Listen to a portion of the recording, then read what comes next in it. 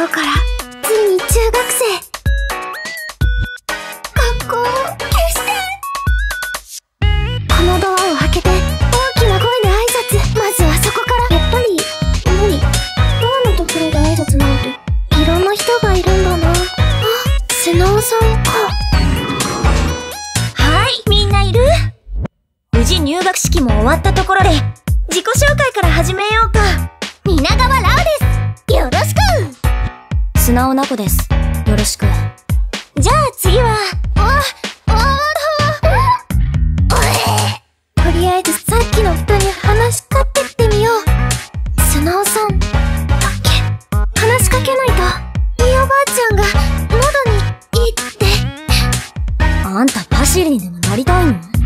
パシリ？傘忘れちゃったな。私の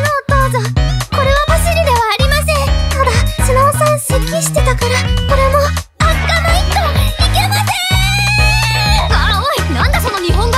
逃げた。結局逃げた。かいちゃん私やっぱり約束守れそうにない。スノーさんいい人だったな。待てゲゲロ吐いたのに。ロ待てって言ってるだろ。こスノー。さん朝が一つなら、二人で入ればいいだろ私のことは、なこと呼びな。友達になりたいって言われるのも、嬉しいもんだな。